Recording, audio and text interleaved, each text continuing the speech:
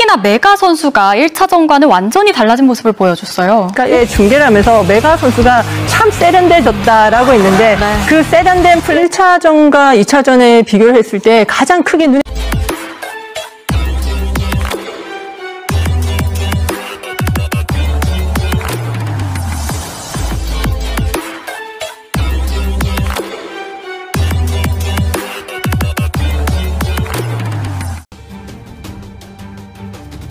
Peluang Megawati Hangestri di Liga Voli Korea, tiga tim voli elit berebut hati Megatron.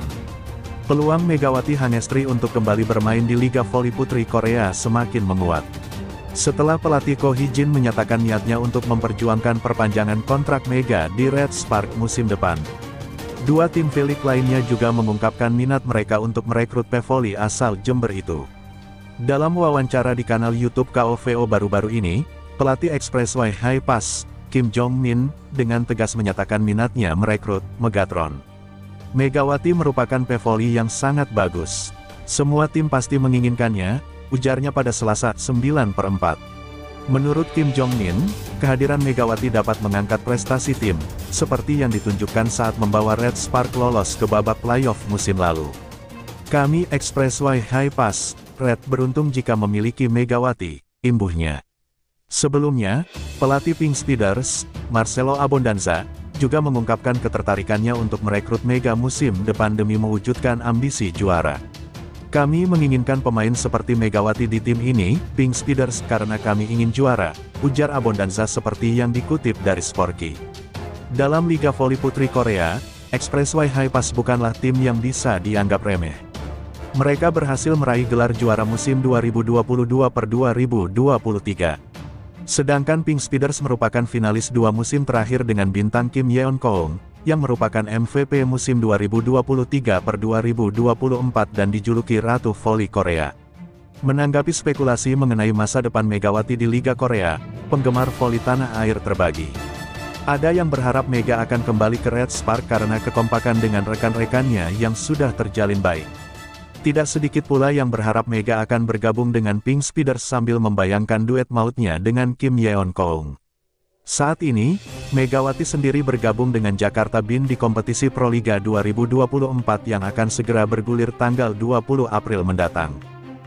Bocor klub baru Megawati Hangestri usai Proliga 2024, potensi CLBK dengan Giovanni Milana. Megawati Hangestri berpeluang tampil di Liga Voli Korea Selatan. Red Spark masih menginginkan jasa Megawati Hangestri meraih juara Liga Voli Korea Selatan. Namun Megawati Hangestri harus menyelesaikan kontraknya bersama Jakarta Bin di Proliga. Proliga bakal dimulai tanggal 25 April tahun 2024 hingga tanggal 21 Juli tahun 2024. Pelatih Red Spark, Ko Hee-jin, berharap Megawati Hangestri bisa bergabung ke Red Spark musim depan. Hal itu disampaikan Ko Hee-jin saat acara Korean V-League Award 2023 per 2024 beberapa waktu yang lalu. Pada tayangan di balik layar Korean V-League Award 2023 per 2024 yang diunggah di kanal YouTube SBS Sport, Ko Hee-jin memohon agar Mega kembali ke Red Spark musim depan. Ko Hee-jin mengungkapkan jika dirinya akan memberikan penawaran lagi kepada Mega dan Giovanni Milana untuk musim depan. Aku tidak bisa bersama Gia dan Mega sekarang, tapi jika melihat musim ini saya berharap kami bisa bekerja sama lagi musim depan, aku juga akan memberikan penawaran lagi musim depan, ungkap Ko Hee-jin. Mega, tolong bertahan bersama kami, terima kasih, lanjut Ko Hee-jin. Meski kini sudah resmi bergabung dengan Jakarta Bin untuk gelaran Proliga Indonesia musim 2024, masih besar kemungkinan Megawati Hangestri kembali bergabung dengan Red Spark musim depan. Perbandingan gaji Megawati di Red Spark dan Jakarta Bin. Terungkap perbandingan gaji Megawati Hangestri di Red Spark dan saat membela Jakarta Bin di Proliga 2024. Diketahui, Megawati Hangestri telah hengkang dari Red Spark di Liga Voli Korea. Kini Megawati Hangestri menjadi bagian Jakarta Bin pada Proliga 2024. Melalui akun Instagram resmi @bin garis bawah volleyball club, Jakarta Bin mengumumkan nama Megawati pada Senin tanggal 1 April tahun 2024 malam. Dalam unggahan tersebut, Megawati diperkenalkan bersama tiga opposite hitter lokal lainnya, yakni Dian Wijayanti, Alia Anastasia, dan Ni Nyoman Haniawati. Dengan rilis resmi Jakarta Bin, maka berakhir sudah teka-teki terkait klub mana yang bakal dibela Megawati di Proliga 2024.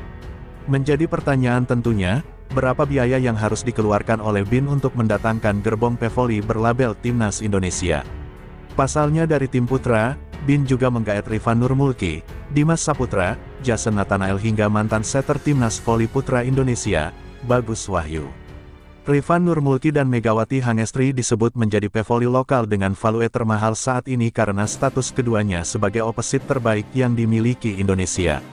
Menariknya jika dilakukan perbandingan besaran gaji yang diterima pevoli di Proliga dan Liga Voli Korea terbilang jomplang. Chosun melaporkan, pemain asing Asia yang menjalani musim pertamanya di Liga Voli Korea seperti Megawati Hangestri saat memperkuat Red Spark, mendapatkan gaji 100 ribu USD alias 1,5 miliar rupiah.